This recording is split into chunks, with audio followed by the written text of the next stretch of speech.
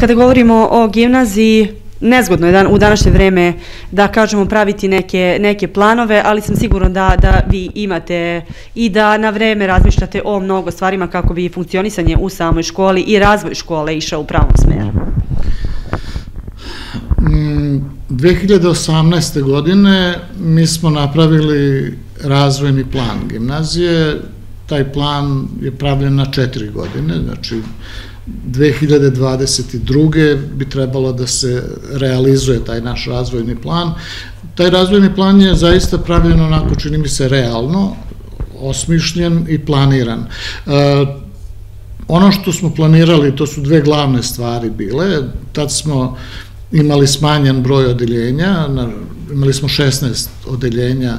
2014. 15. godine, da bismo posle toga počeli da povećavamo broj odeljenja od 18. godine i cilj nam je bio da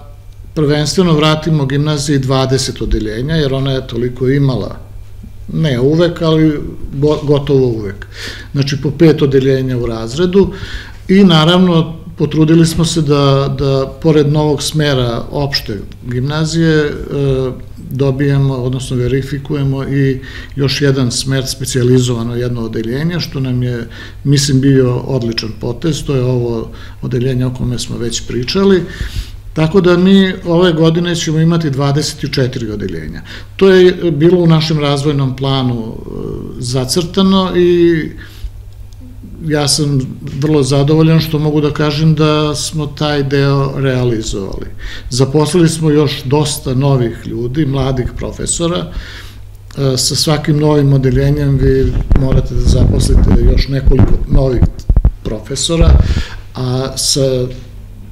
koliko je to već osam odeljenja novih, mi smo sad umesto tehnoloških viškova, sad imamo jako puno slobodnih radnih mesta,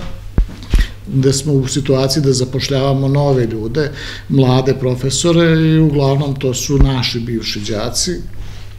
koji su završavali fakultete umeđu vremenu ili upravo završavaju, tako da ih čeka novo radno mesto i to je jedna vrlo dobra stvar, rekao bih.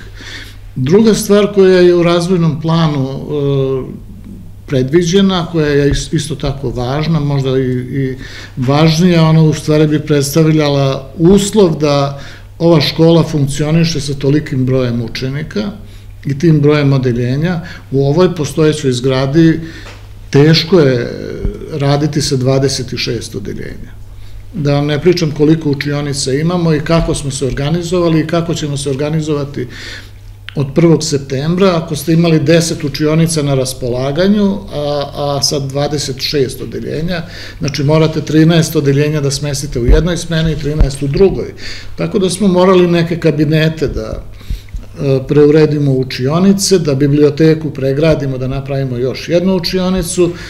da arhivu koja je bila premeštena u onu malu učionicu, takozvani autobus, da i nju sad izmestimo, da je napravimo novo mesto, a da taj autobus pretvorimo u učionicu gde može da sedne do 20 učenika, taman za ovo jedno IT odeljenje. I to nam je ono što mi sad radimo, u stvari snalazimo se da, da školsku godinu novu dočekamo, u takvim uslovima. Nisu to dobri uslovi, sjajni uslovi, ali moći će da se radi. E sad, ono što nas teši je činjenica da su u toku ozbiljne pripreme, projektna dokumentacija za rekonstrukciju ove stare zgrade je u toku, to će biti završeno vrlo brzo, e, projekat i građevinska dozvola za, za novu zgradu, taj naš takozvani aneks, urađena je već pre nekoliko godina i sad čekamo da se to sve kompletira i da ja se nadam do kraja ove godine počnu radovi na tim poslovima. Da se dozida nova zgrada, taj aneks i da se rekonstruiše ova zgrada i kad budemo mi to sve završili imat ćemo 23 učionice na raspolaganju, a sa 24 odeljenja mi ćemo moći da radimo mogu sad slobodno da kažem i u jednoj smeni, jer jedan od, od e, zadataka koji smo postavili sebi bio je da idemo ka tome da škola radi u jednoj smeni. To je jako bitno i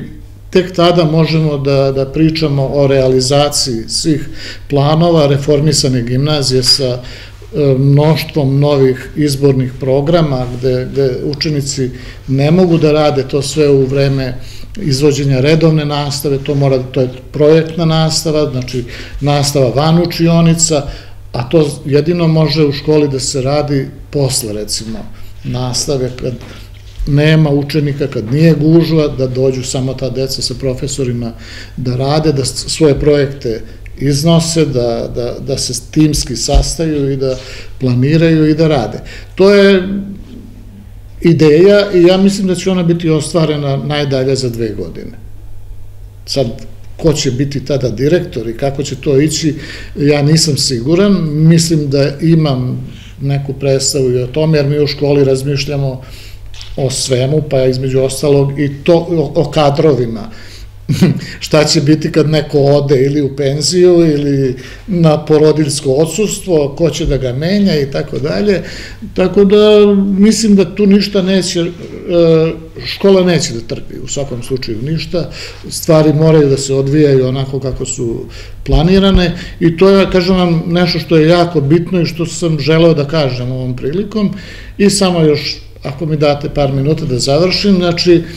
ono na čemu trenutno radimo u školi, da iskoristimo ovo vreme kada đaci mogu da dolaze u školu od, od ponedeljka, e, prioritet nam je da, da završimo školsku godinu sada sa maturantima. Oni se u maju raspuštaju, završavaju, znači sve moramo da učinimo da im omogućimo da normalno završe e, četvrtu godinu, da se pripreme za, za dalje školovanje, za prijemne ispite i za fakultete, dakle da polože maturske ispite prvo ovde u školi, da odbrane svoje maturske radove, da dobiju diplome i onda taj deo posla ćemo, taj deo posla je u stvari nama trenutno najvažniji. Naravno, ostaju nam posle ovi drugi, mlađi razredi, njih isto tako u junu treba da, da osposobimo da završe razred i da upišu sledeći razred, a onda sad konkretno trenutno ovih dana, znači videli ste i sami, e, preokupirani smo znači upisom u prvi razred,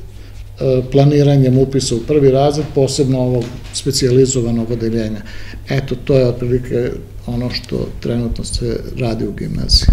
Ali to je upravo potvrda da kada imate, kao što ste rekli, realan plan i e, dobru, dobar plan i imate ko da ga realizuje, E, škole nema bez učenika, a vi ste za par godina broj odeljenja značajno povećali, tako da će gimnazija u svakom slučaju nastaviti da, da se razvije u pravom smislu. Projekat, taj razvojni plan koji smo napravili privodi se kraju. Ja bih voleo, to, to, to, taj plan je pravljen otprilike nekako i sa